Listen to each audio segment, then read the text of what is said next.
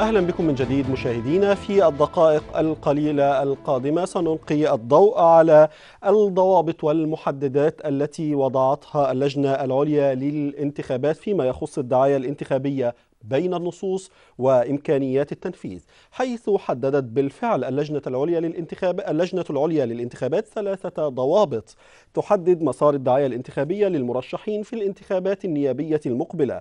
المحددات الثلاث هي عدم استخدام شعارات دينية وعدم استخدام دور العبادة في الدعاية الانتخابية وكذلك عدم التعرض لحرمة الحياة الخاصة لأحد المرشحين. فيما حددت اللجنة ضرورة ألا تتجاوز نفقات الدعاية الانتخابية نصف مليون جنيه مصري. حول هذه الضوابط وإمكانيات ضبطها والالتزام بها ومعاقبة مخالفيها معنا عبر الإنترنت من القاهرة آه الأستاذ أحمد أبو المجد المنسق الميداني للحملة الشعبية لمراقبة الانتخابات. أهلا بك أولا أستاذ أحمد. أهلا بك. نعم. أستاذ أحمد هل تعتقد أن الضوابط والمحددات التي وضعتها اللجنة العليا للانتخاب للانتخابات كفيلة أو قادرة على ضمان دعاية انتخابية متزنة ومتعادلة بين القوى السياسية المختلفة؟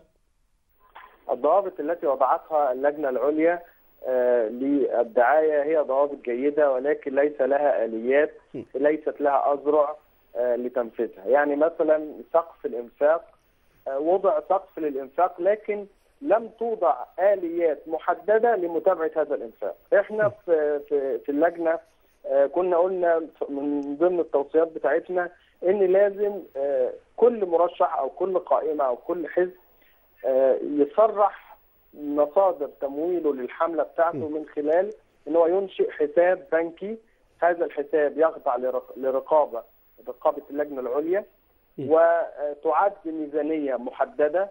هذه الميزانية يعدها محاسب قانوني يعلن عن ميزانيته. بالشكل ده هنتيح للجنة العليا متابعة سقف الإنفاق. لكن من غير وجود هذه الآليات والتي لم تنص عليها اللجنة العليا إذا اللجنة ستكون بلا أذرع من أجل مراقبة عملية الإنفاق.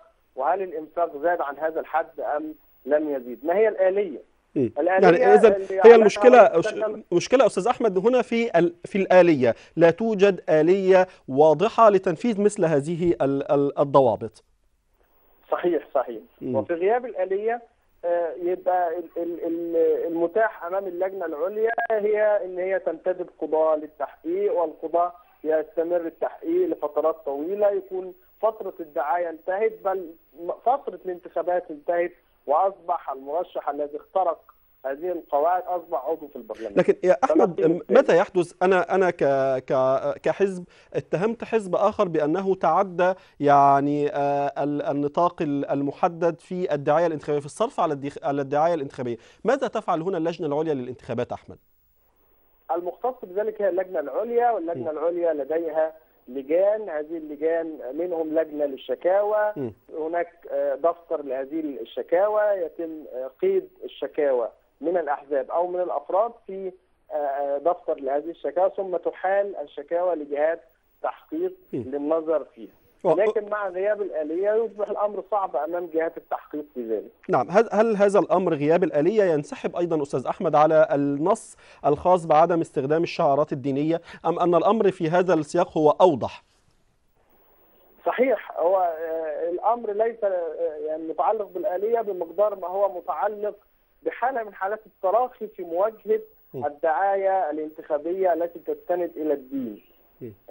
في بالمخالفة لقرار اللجنة قرار 21 لسنة 2011 الذي أصدرته اللجنة في المادة الثانية منه اللي بينص على امتناع المرشحين والأحزاب عن استخدام الدعاية الدينية. ففي فترة العيد وخصوصا في صلاة العيد وجدنا حاله من حالات المبارزة الشديدة ما بين الأحزاب التي لها انتماءات إسلامية تستخدم الدين بشكل فج وصل لحاله من حالات الصراع على ساحات الصلاة وصل لحالة من حالات الصراع في خطب العيد التي لم تتناول أي شيء متعلق بصلاة العيد أو أو بالأضحية أو بغيرها أو موضوع الموضوعات المفروض تتم في العيد. كلها يعني وكأنك تقول أن هذه الشعيرة الدينية قد تم استخدامها سياسيا من قبل بعض الأحزاب المنتمية للتيار الإسلامي. صحيح صحيح. وفي حالة صراع شديد يعني صراع كان على الساحات نعم. ابقى معي لجنة أستاذ أحمد. أنا معي على الهاتف أيضا الدكتور جمال نصار مدير مركز الحضارة للدراسات المستقبلية. أهلا بك معنا دكتور جمال. أهلا بك أستاذ أحمد. أهلا بك. آه، دكتور جمال معي كما سمعت على ال- يعني على, على الإنترنت. الأستاذ أحمد أبو المجد وكان له أكثر من ملاحظة على مسألة الضوابط التي وضعتها اللجنة العليا للانتخابات فيما يخص الدعاية الانتخابية. الملاحظة الأولى في مسألة آه، الآليات التي من خلالها تقوم هذه اللجنة بمتابعة آه، آه، تقييم هذه النصوص على الأرض وعلى الواقع. هذه كانت ال- الأولى. أما الثانية يرى أن بعض التيارات الإسلامية أو الأحزاب ذات الصبغة الإسلامية استخدمت شعيرة دينية ألا وهي صلاة العيد في الدعاية الانتخابية. يعني هل ترى مثل ما رأى أحمد؟ بسم الله الرحمن الرحيم. تحياتي لك يا أستاذ أحمد ولكل فريق عملك. هو الحقيقة يعني مع تقدير واحترامي للكلام الأستاذ أحمد أنا ربما أتفق معه في الجزء الأول من كلامه.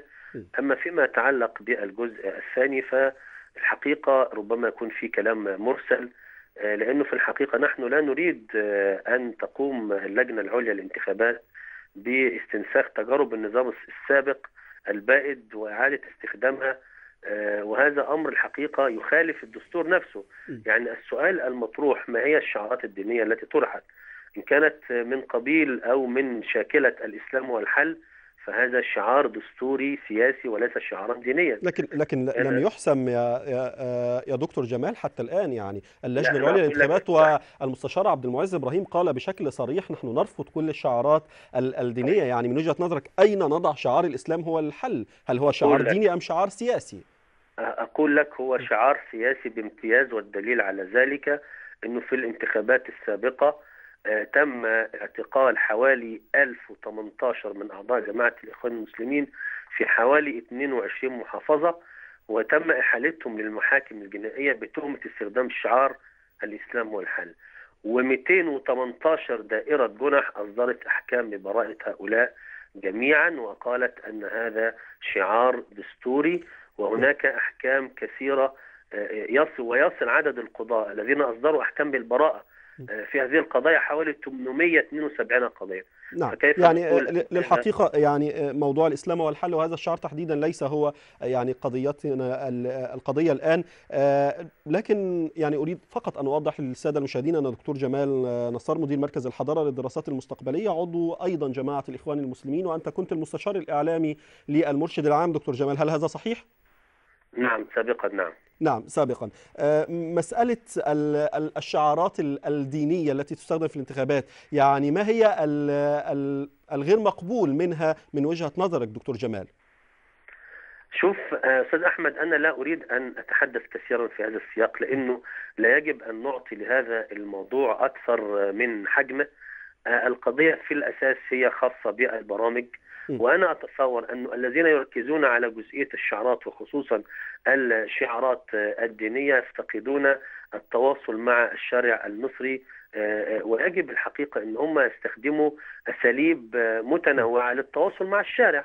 الإخوان كما تعلم متواصلون مع الشارع منذ فترة طويلة برغم التضييقات المتعددة والمتوالية لهم في جميع المحافظات في الفترات السابقة. ومع هذا أقول أن الإخوان لا يستخدموا شعارات دينية ولا يجب. وكذلك أيضا كل التيارات الإسلامية لا يستخدمون شعارات دينية أما أكرر مرة أخرى إذا كان بخصوص شعار الإسلام هو الحل فهذا شعار سياسي وشعار دستوري وأخذت به أحكام قضائية عديدة تصل إلى عشرات بل مئات الأحكام. أشكرك شكرا جزيلا دكتور جمال آه، نصار مدير مركز الحضارة للدراسات المستقبلية وعضو جماعة الإخوان المسلمين وأعود مرة أخرى إلى الأستاذ أحمد أبو المجد. كما سمعت دكتور جمال يقول أن شعار الإسلام الح- هو الحل ليس شعارا آه، دينيا إنما هو شعار سياسي. على أي حال نعود للموضوع مرة آه، أخرى. أحمد تنشب دا- دائما يعني معارك بين آه، الأحزاب البعض يتهم البعض الآخر بتمزيق ال- اللافتات. هل هناك ضوابط لهذا آه، ال- الأمر؟ يعني ماذا يفعل الحزب إذا بالفعل وجد آه، يعني مزقت لافتاته بشكل أو أو بآخر؟ هل هناك مكان للشكاوى في هذا الأمر؟ آه، هذه تعتبر جريمة وفقا لنص قانون مباشرة الحقوق السياسية الباب الرابع منه.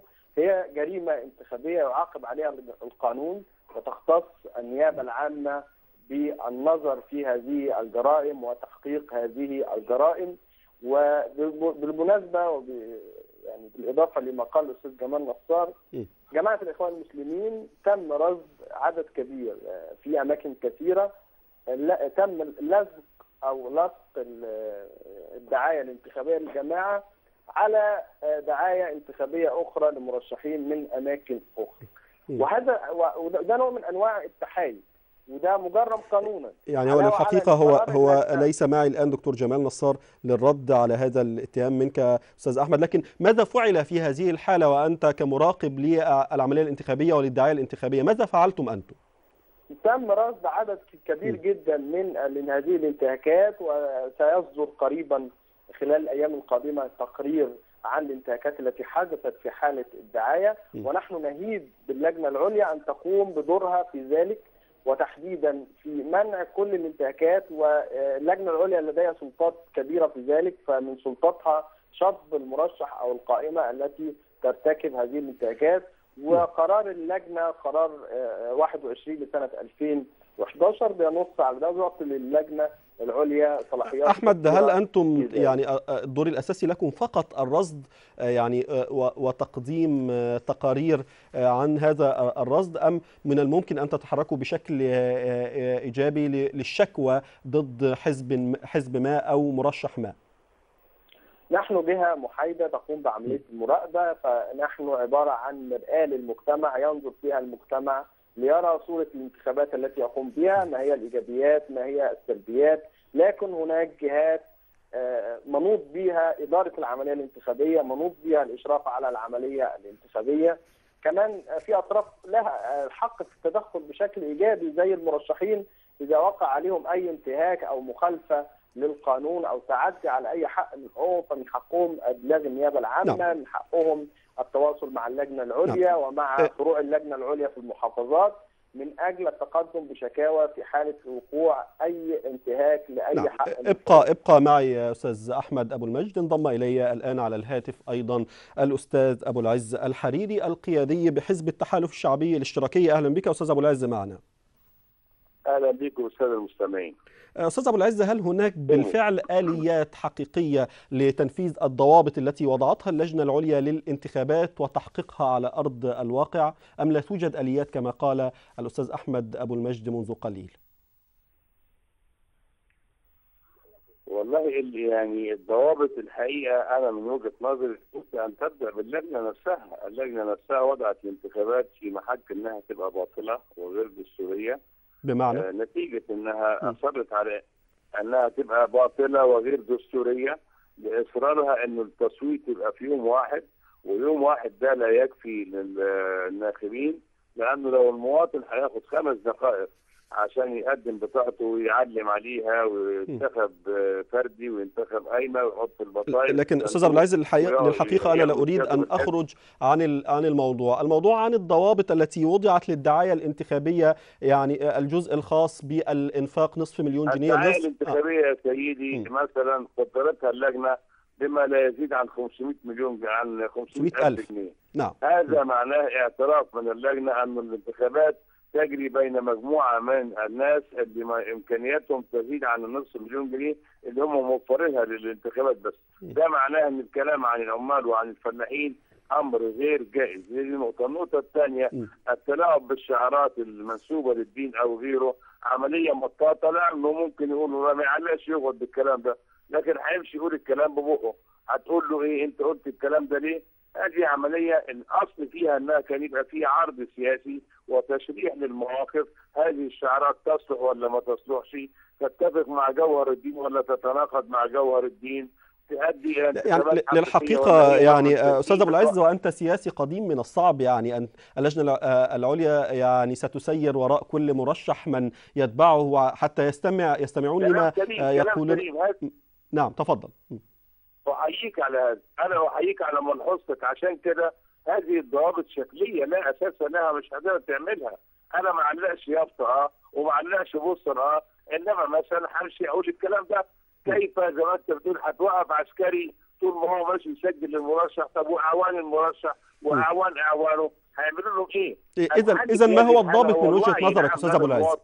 الضابط من وجهة نظرك لهذا الأمر؟ نعم. هل الوعي لدى المواطن المصري هو الضابط لهذه العملية وللمحددات التي وضعت للدعاية الانتخابية؟ ال- الوعي هنا يعود إلى المواطن دي درجة لكن الدرجة الأهم منه أن السلطة القائمة تتيح للإعلام والبرنامج عند حضرتك وغيرك من الفضائيات والصحافة فرصة أنها تشرح هذا الكلام، تشرح هذه المصطلحات، تشرح برامج الأحزاب بحيث إن في عملية انتخابية حقيقية. الذي يجري الآن هو انتخاب على بياض إذا تم يعني. هيبقى انتخاب على بياض ووفقا لشعارات مبهمة حتى اللي ما هيش شعارات دينية ولا حاجة، اللي بيتكلم عن عداله ومساواه وتنمية ولم يقدم أي برنامج ولم يقدم أي تفصيلات سياسية لبرامجه ولا كيف يتحقق هذا، ما هو ده نوع من تزييف الوعي زي اللي بيستخدم شعار منسوب إلى الدين برضه لتزييف وعي الناس وامتصاص إرادتها واكتساب أصواتها. شكرا جزيلا تداوم. أشكرك شكرا جزيلا الأستاذ أبو العز الحريري القيادي بحزب التحالف الشعبي الاشتراكي وأعود مرة أخرى مع الأستاذ أحمد أبو المجد عبر الإنترنت أ- يعني أبرز الانتهاكات التي وقعت خلال الأيام القليلة القادمة منذ بدء ال- الحملة الدعائية للانتخابات البرلمانية أحمد والتي رصدتموها يعني من من خلال الحملة الشعبية لمراقبة الانتخابات هناك ثلاث محاور أساسية منها الدعاية الدينية والدعاية الدينية اتكلمنا عنها. ويمكن حزب آه، الأحزاب الإسلامية منها حزب النور تحديدا قام بانتهاكات واسعة جدا في هذا الإطار منها مسيرات انتخابية تم رفع المصاحف فيها وهتافات آه، دينية. الإخوان المسلمين بيتحايلوا على آه، فكرة الدعاية الدينية من خلال إن هم يحطوا اثنين poster poster مكتوب عليه جماعة الإخوان المسلمين آه، الإسلام هو الحل وبجواره آه، poster آخر مكتوب عليه حزب الحرية والعدالة آه، وشعار آه، ليس ديني اللي هو آه، نحمل الخير آه، لمصر. نعم. آه، المحور الآخر محور الصراعات القبلية آه، وده تحديدا في محافظات الصعيد. كثير آه، من المرشحين آه، آه، استغلوا الصراعات القبلية والمشاكل التي كانت بين الأسر الكبيرة. والعائلات الكبيرة في الصعيد وتم تزكية هذه النيران. فوجدنا أحداث آه، عنف وثأر ووصلت ل- أحمد، ل- دعني لقتل أتحدث- مثلا في سوهاج نعم. في دار في مركز دار السلام في دمياط في الأقصر في آه، أسيوط. المحور الثالث من ال- الانتهاكات المحور الذي يتناول نظره للمرأة تحديدا دعاية مضادة لفكرة المساواة بين الرجل والمرأة وده مخالف لقواعد الدعاية اللي بتنص على عدم أو الامتناع عن استخدام أي شعارات آه، آه، تفرق بسبب الجنس أو اللغة أو العقيدة. يعني هل هل رصدتم شعارات أحمد أو لافتات؟ أحمد هل رصدتم شعارات أو لافتات؟ بالفعل تفرق بين المرأة آه، والرجل وكيف كانت شكل هذه الشعارات؟ وجود مثلا قائمة لأحد الأحزاب لا تحتوي على صورة امرأة أو أو يضعوا بدل صورة ال- ال- السيدة المرشحة. وردة أو صورة زوجها أو أي أو لا يضع صورة. ده نوع من أنواع التمييز الواضح. يع- يعني آه، هل ترى لماذا تراه تمييز أحمد؟ لعلها منتقبة مثلا وبالتالي يعني الصورة وهي منتقبة ستكون ليست ذات قيمة يعني. آه، الفكرة في حد ذاتها هو عدم المساواة بين المرشح والمرشحة. كويس بين الرجل والمرأة.